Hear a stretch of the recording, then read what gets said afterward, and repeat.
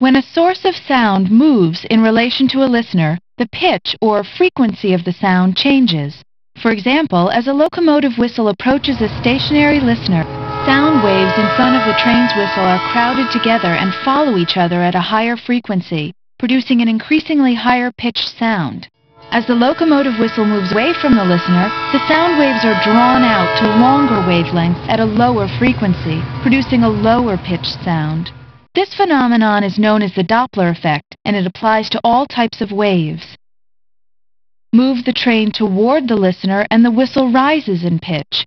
Move the train away from the listener and the whistle lowers in pitch.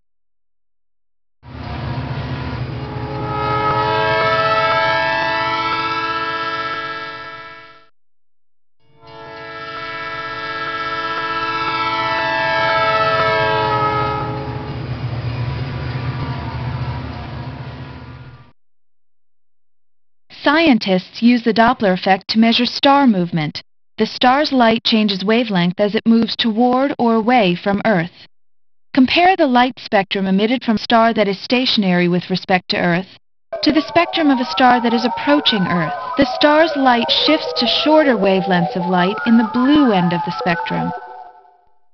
To the spectrum of a star that is receding from Earth. The star's light shifts to longer wavelengths of light in the red end of the spectrum.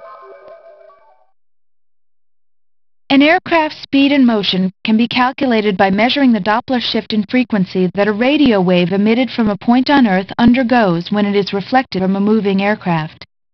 As the aircraft approaches the observation point, the radio waves have higher frequencies.